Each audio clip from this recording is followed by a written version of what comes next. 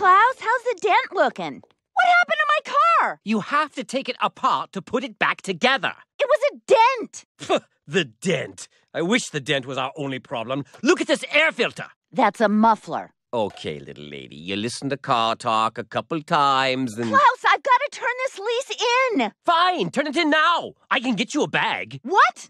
No! I need you to put this back together. Oh, so you want me to do my job? I'd love to. You're back and forth like a windshield wiper. Hey, Klaus, your Babes of Pennzoil calendar came. Oh, good, good. Hang it in the very wet bathroom with no lock.